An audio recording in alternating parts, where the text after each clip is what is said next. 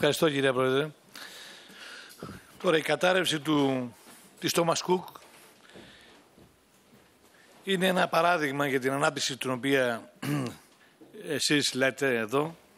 Αμφισβητεί τους πανηγυρισμούς των τελευταίων μηνών, τις αντιδικίες ανάμεσα στα δύο μεγάλα κόμματα για το πώς πρέπει να, ποιος πρέπει να πιστωθεί το αναπτυξιακό άλμα που λέτε και να φέρει βέβαια στο προσκήνιο τις πραγματικές επιπτώσεις της περιβόητης εξωστρέφειας για την οποία μιλάτε, που έχει γίνει και το σήμα τεθέν το όλων των επιτελείων το προηγούμενο διάστημα.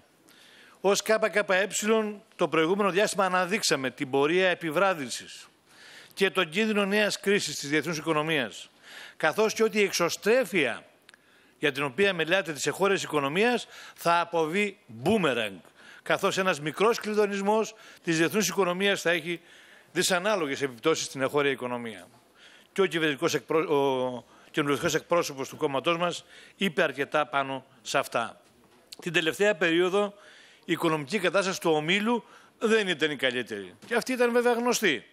Ο πολύ αυξημένος δανεισμός του ομίλου, ο αυξανόμενος ανταγωνισμός, η μείωση του διαθέσιμου εισοδήματος σε ολόκληρη την Ευρώπη, αλλά και η έκταση του παραδοσιακού μοντέλου λειτουργίας με χιλιάδες γραφεία σε ολόκληρη την Ευρώπη, την ώρα που το διαδίκτυο και οι μεγάλες διαδικτυακές εταιρείες ενοικίασης καταλήμματων επιτρέπουν στον τελικό καταναλωτή σχεδόν να οργανώσει μόνος του τις διακοπές του, οδήγησαν βέβαια τον Όμιλο σε αρνητικά οικονομικά αποτελέσματα το τελευταίο διάστημα. Η χρεοκοπία της Thomas Cook δεν είναι τίποτα άλλο παρά μια αντανάκλαση των μεγάλων δυσκολιών που αντιμετωπίζει ο ίδιος ο καπιταλισμός σε ευρωπαϊκό και διεθνές επίπεδο. Η χαμηλή κερδοφορία, η όξη των ανταγωνισμών μεταξύ των ομίλων, η υψηλή, η υψηλή επιβάρυνση, τα αποδάνεια του παρελθόντος όταν οι προσδοκίες για κερδοφορία ήταν πολύ μεγαλύτερες, η σχετική μείωση του διαθέσιμου εισοδήματος για, το, για τον τουρισμό. Είναι πλευρές του πραγματικού προβλήματος του καπιταλισμού, μιας υπερσυσσόρευσης κεφαλιών που δεν μπορούν να επενδυθούν με ικανοποιητικό ποσοστό κέρδους. Το κυρίαρχο αφήγημα της κυβέρνησης είναι η στροφή στην ανάπτυξη. Η προσέλκυση λέει επενδύσεων και η δυνατότητα μιας ταχείας οικονομικής ανάπτυξης που θα αντιμετωπίσει τα προβλήματα των εργαζομένων. Όμως όπως αποδείχθηκε λογαριάζεται χωρίς τον ξενοδόχο που εδώ είναι, οι οποίοι τα κλείνουν. Η αδυναμία της καπιταλιστικής ανάπτυξης να αντιμετωπίσει τα προβλήματα των εργαζομένων είναι δεδομένη. Στον καπιταλισμό η ανάπτυξη προϋποθέτει αύξηση του βαθμού εκμετάλλευσης, εξαθλίωση των εργαζομένων και εδώ το παράδειγμα του τουρισμού είναι πολύ μεγάλο. Είναι αυτό που πρέπει να βλέπει όλος ο κόσμος, όλη η εργατική τάξη, την εξαθλίωση των εργαζομένων από τη μια πλευρά και από την άλλη βέβαια τα κέρδη τα οποία ε, συγκεντρώνονται σε μια χούφτα ανθρώπων στον κλάδο. Η ίδια η προοπτική της ανάπτυξης, χωρίς εμπόδια, χωρίς κλειδονισμούς, χωρίς νέα κρίση όπως λέτε, είναι όνειρα αυτά θερινής νυχτός. Ήδη μπροστά μας εμείς εκτιμούμε ότι η κρίση έρχεται και είναι αποτέλεσμα όλης αυτής της εξέλιξης που συζητάμε και σήμερα εδώ. Το ΚΚΕ επισημαίνει αυτή την πλευρά ήδη από τις αρχές της φάσης της ανεμικής ανάκαμψης της εχώριας οικονομίας. Η εξωστρέφεια της ελληνικής οικονομίας και οι εξαγωγικοί πρωταθλητές της ναυτιλίας και του τουρισμού δεν είναι πανάκια, όπως λέει η Νέα Δημοκρατία, ο ΣΥΡΙΖΑ, ο ΣΕΒ, ο ΣΕΤΕ εδώ, επαναλαμβάνουν διαρκώς ότι είναι πανάκια αυτή η εξωστρέφεια. Η καπιταλιστική ανάπτυξη που θα έρθει δεν μπορεί να μοιράσει νέο πλούτο στη μεγάλη λαϊκή πλειοψηφία, όχι μόνο γιατί ο καπιταλισμός γενικά δεν μπορεί να το κάνει, αλλά γιατί η ίδια η έκταση του νέου πλούτου που θα δημιουργηθεί είναι σημαντικά μικρότερη από αυτές τις μεγαλόστιμες κυβερνητικές εξαγγελίες που ακούμε διαρκώς. Είναι τα μέτρα ικανοποιητικά ή όχι; Προφανώς εδώ είναι οι εκπρόσωποι των εργοδοτών, τα μέτρα είναι δικά τους, είναι τα αιτήματά τους, οι αξιώσεις τους και η κυβέρνηση έρχεται να ικανοποιήσει κάθε αίτημά τους. Για αυτούς βεβαίως είναι ικανοποιητικά. Είναι όμως ικανοποιητικά για τους εργαζόμενους. Βεβαίως και όχι.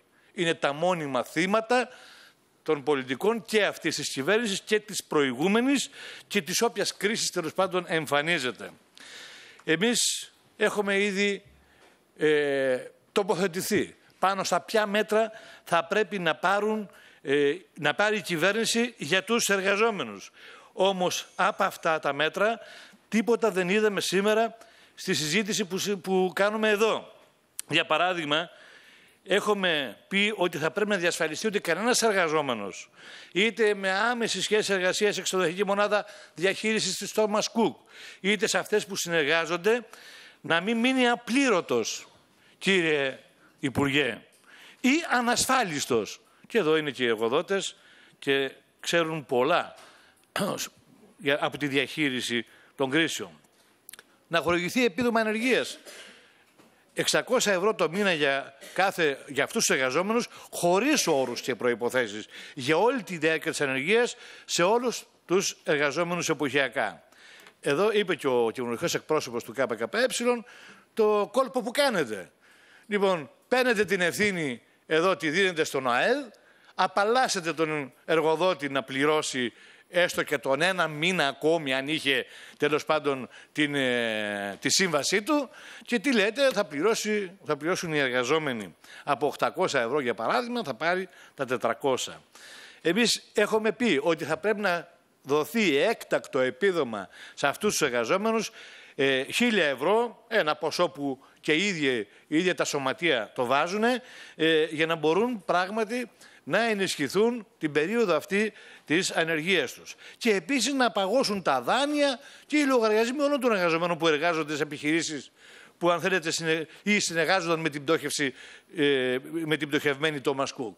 Δεν είπατε τίποτα εκεί. Εντάξει, οι ξενοδόχοι θα με ε, ΦΠΑ δεν θα δοθεί, ε, δάνεια θα διευθυντηθούν. Οι εργαζόμενοι γιατί λοιπόν εδώ να μην παγώσουν τα δάνεια και οι λογαριασμοί αυτών των εργαζομένων; Εμείς ε, πιστεύουμε ότι τα μέτρα αυτά όντως είναι καλά για τους ξενοδόχους, ε, δεν, ε, δεν ικανοποιούν τους εργαζόμενους και η κυβέρνηση είναι υπόλογη και σε αυτούς τους εργαζόμενους αλλά και συνολικά στους εργαζόμενους γιατί προτάσεις σαν πρότυπο τον τουρισμό και ο τουρισμός βέβαια είναι γνωστό πέρα από αυτά που είπε ο κοινωνικός εκπρόσωπος για τις δεκάδες ε, σχέσεις εργασίας, ελαστικές μορφές, για τη μείωση των μισθών, για την εντατικοποίηση της δουλειάς, για τις απολύσεις σε όποιον διεκδικεί το δικαίωμά του. Και εδώ είναι εκπρόσωποι και θα πρέπει να πάρουν θέση πάνω σε αυτά. Λοιπόν, είναι πραγματικά εδώ ε, ένα, ε, ένας τομέας της οικονομίας που οι εργαζόμενοι πρέπει να δουν ότι δεν μπορούν να αρκεστούν ή να ανεχτούν αυτή την πολιτική, αλλά να οργανώσουν την πάλη τους για τα δικαιώματά τους.